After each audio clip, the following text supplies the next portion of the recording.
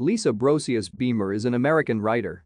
The widow of Todd Beamer, a victim of the United Flight 93 crash as part of the September 11, 2001 attacks in the United States, she has become best known for her actions following the disaster. She is a 1991 graduate of Wheaton College. She gave the 2011 commencement address at Wheaton. At the time of the attacks, Lisa Beamer was five months pregnant with her daughter, Morgan Kay, who was born on January 9, 2002. In the immediate aftermath of the attacks, the pregnant Beamer had a high profile, with more than 200 media appearances in six months. She was introduced by President George W. Bush at a commemoration ceremony. Shortly after the attacks, she set up the Todd M. Beamer Memorial Foundation, which was initially run by a family friend. The organization sought to trademark the phrase let's roll, which was the subject of some criticism after some accused her of seeking to profit from her husband's death.